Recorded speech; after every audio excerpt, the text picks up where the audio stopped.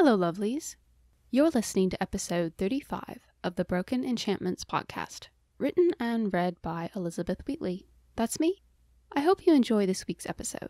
Be sure to check out my Patreon for next week's episode, now available. You can check out the links below.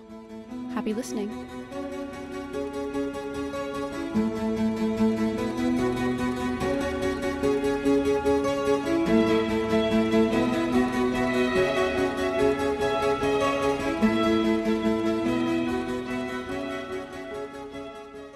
As soon as the spy, or whatever he was, disappeared back into the kitchens, Janir gave the excuse of no appetite and headed for the apothecary.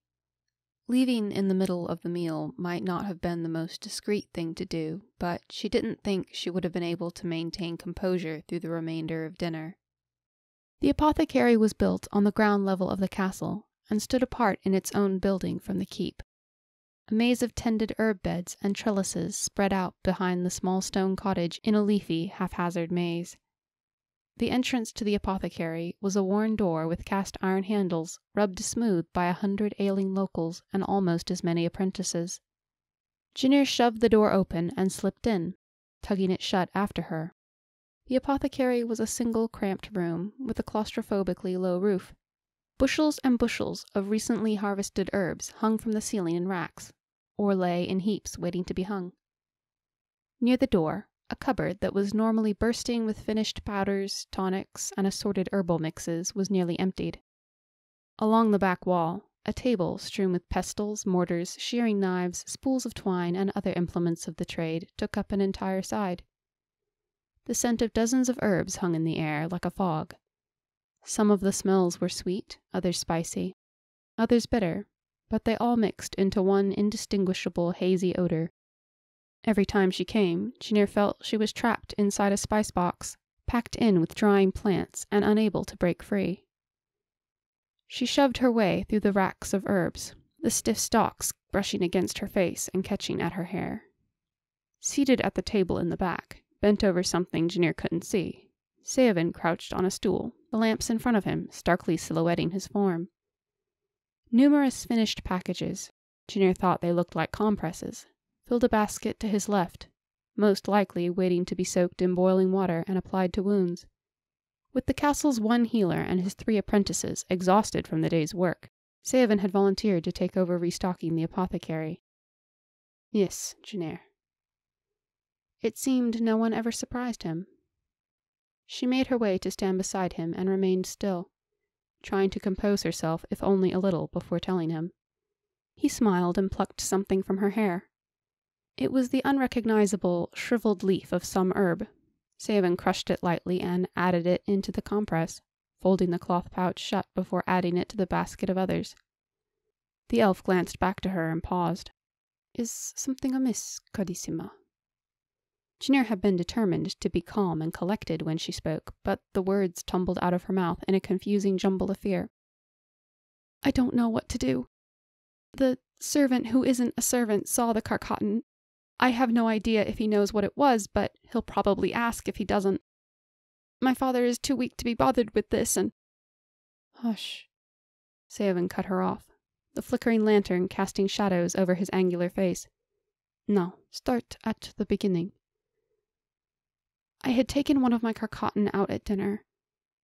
What? The elf shot her a sharp look. I didn't draw it. Well, I sort of did, but I had it hidden. At least, I thought I did. But when I looked up at the servant, I could tell that he had seen it, and I've seen him as a guard before, earlier today. Janir finished breathlessly. Why did you have your carcotton out at all? Saoven demanded. I know I shouldn't have, Janir lamented. But when I touch them, they give me a sense of rightness. It's faint, but sometimes it's better than nothing. Saoven sighed and shook his head. He muttered in Elvish. There's something else, Janir sheepishly added. When I met Lucan again, after seven years since the last time we saw each other, I recognized him. And when I look at this man, I. There's something Argotolum about him. You mean that he is an Argotolum? Saoven shifted, shooting a glance to the door. No, but there's something Argotolum clinging to him. I don't know. It sounds strange. Janir shook her head. Strange does not mean untrue, Saoven said. Should we go back to try and catch him? Janir fidgeted, kneading her hands behind her back. No, he is long gone by now, the elf surmised. So, what do we do? Wait, he is bound to turn up again, of that I am certain. We will tell Armandius of this as soon as he is strong enough. Saoven touched her shoulder. I doubt the spy means you any harm. More likely, he was sent to confirm or disprove the rumors of an Argatalum being raised by Lord Kierson. Janir swallowed. We would never let anything happen to you, Saoven assured her. Besides, I imagine that whoever sent him will be wanting substantial proof, not a glimpsed portion of a black rod for confirmation. What if, what if the Lord Argatalum wants me back? What if he decides that I should die? What if Lucan. Janir faltered. Sobs racked her body and she trembled. She had fear, so much fear of the unknown, of the possibilities. Fear was a corrosive thing that spread like a disease, making her weak. Saoven wrapped his arms around her. Janir sobbed into his shoulder, feeling helpless. What could she possibly do if the Argatalums found out she was here? She knew the spy needed to be stopped from returning to report, but he had to be found first. But after they found him, what would they do to him? Armandius and Saoven wouldn't torture him, would they? Even in all that, there was something comforting about Saoven holding her. Janir drew a deep breath and closed her eyes, resting her forehead against his chest. Saoven touched the ends of her hair. De val de amo, ac semper amabo. Janir may not have been fluent, but her Elvish was good enough to understand. What was she supposed to do? She scrambled her brain for what to say in reply, but Saoven kept stroking her hair and holding her, as if it was nothing. He didn't realize she had understood. Janir cleared her throat. I'm all right now. She sniffled, brushing away her tears. I'm sorry for that. Thank you. She withdrew back a step. Think nothing of it, Saoven calmly responded. Janir gulped. She knew that he meant the embrace, but it was rather difficult not to think anything of what he had said. What should we do now? I will see if I can hunt down this man. In the meantime, you should stay somewhere hidden, somewhere you would not usually be. There are dozens of rooms and galleries in this castle where I could stay, Janir added, thinking of the many places she had explored during her childhood. Yes, and you still have the stone I gave you. It was not a question. I will go to Derek and tell him that there is a spy. No, do not fear. I will not tell him that this spy has anything to do with the Argatalums. I think it best that we wait, and let Armandius deal with that. Come. The elf led her back in the direction she had come. Why are we going back to the dining hall? Janir wondered. Not the dining hall, the kitchens. Janir blinked in confusion. I would not have you by yourself, and there is only one person here that either of us trusts enough.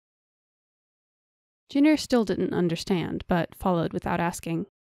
She thought of suggesting she stay with Dame Celila, but the matron was with the wounded, and Janir didn't want to disturb her.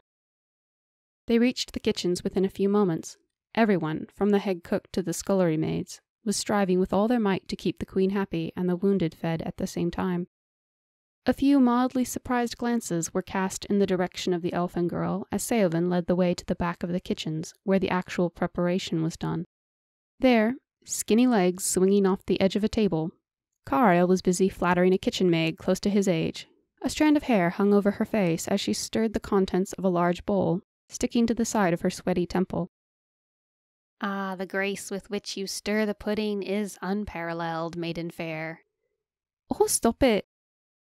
The maid snapped, but her cheeks colored. It must be quite something for a lowly kitchen maid to be paid the attentions of Carlyle, the son of a knight. A pudding stirred by one of your beauty would taste. Carlyle, Saoven shamelessly interrupted. The enchanter glared at Saoven. Goblin, she was about to let me lick the spoon. The kitchen maid simply turned away. Carl went on. You smell like you've been rolling in the spice cupboard.